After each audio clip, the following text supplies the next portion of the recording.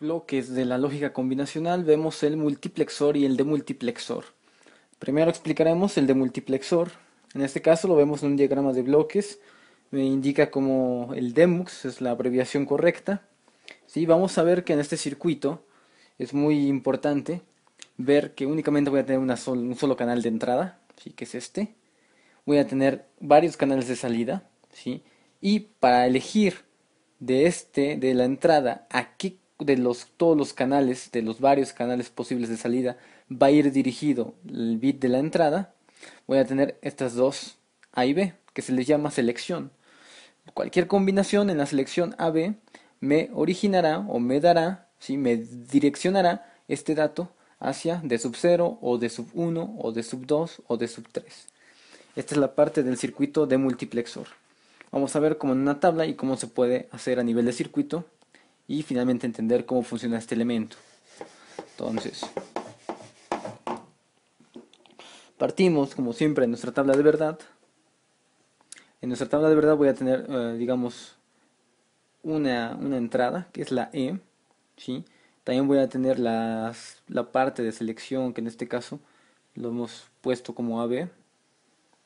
Y puedo tener varios canales de salida que viene siendo de sub 0, de sub 1, de sub 2 y de sub 3. Así aparece, ¿sí?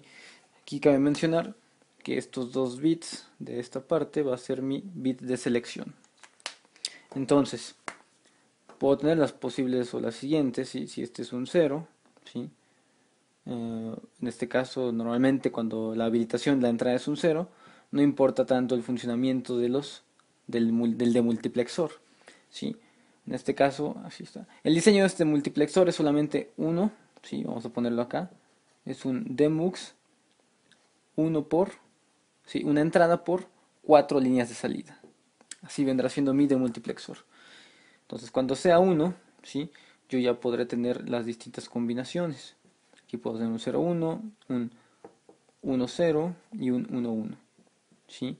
Y aquí tendré mi bit de entrada que se va a transmitir a cualquiera de estas líneas de salida.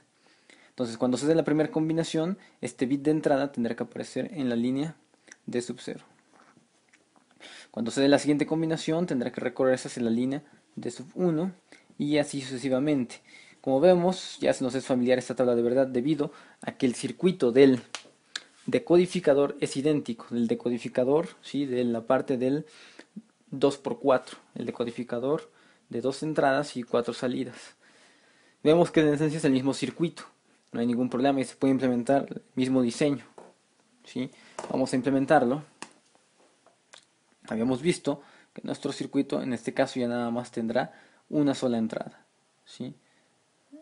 Que será la línea E. ¿ok? Cuando vale 0, nada funciona. ¿sí? Tenemos las condiciones, no importa, no importa qué hay. Pero cuando hay un 1, este bit de 1 se debe transmitir a todas las salidas. Y debo de tener la parte de las líneas de ¿sí? en este caso no es, no es X, es A y es B que me ayudará a mi selección de datos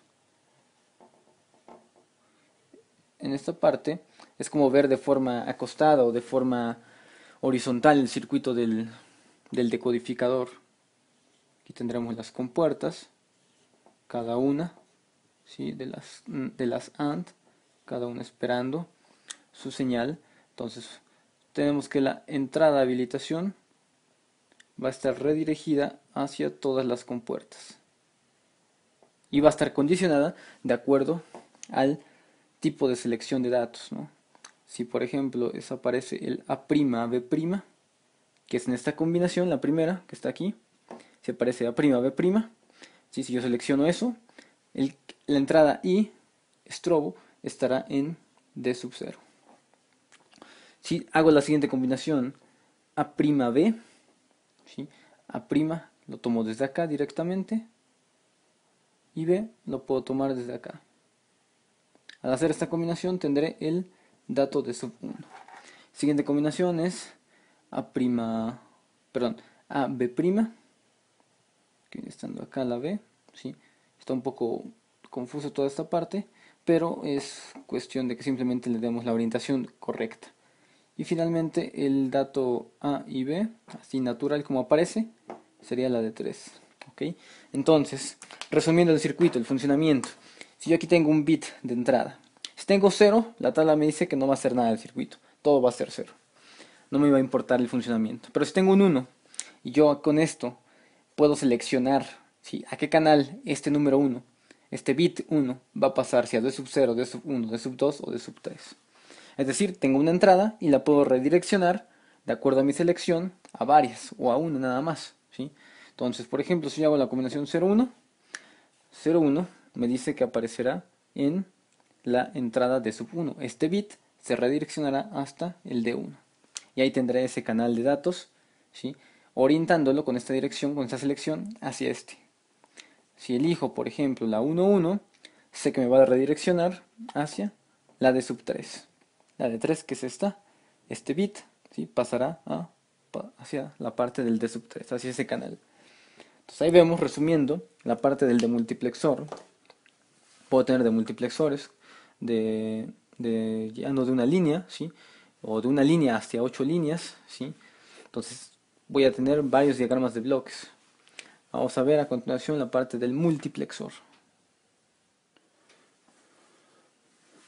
Ahora explicando brevemente la parte del multiplexor, la palabra de hecho multiplexaje o multiplexar en electrónica quiere decir muchos en uno.